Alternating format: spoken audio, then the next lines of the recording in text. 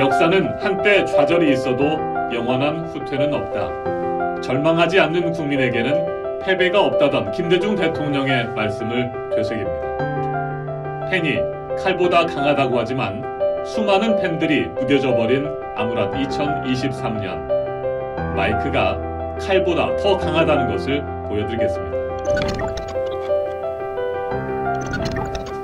1년 전에 내려놓았던 마이크를 다시 차고 깨어있는 시민들을 찾아갑니다. 서울의 소리 유튜브 채널에서 이정원의 허니 라이브가 1월 30일부터 생방송됩니다. 월요일부터 금요일까지 매일 저녁 8시 이정원 TV에서도 동시 송출됩니다. 시청자 여러분과 함께 만들어가는 방송 이정원의 허니 라이브 구독, 좋아요, 알람 설정은 사랑입니다. 많은 관심과 시청 바랍니다.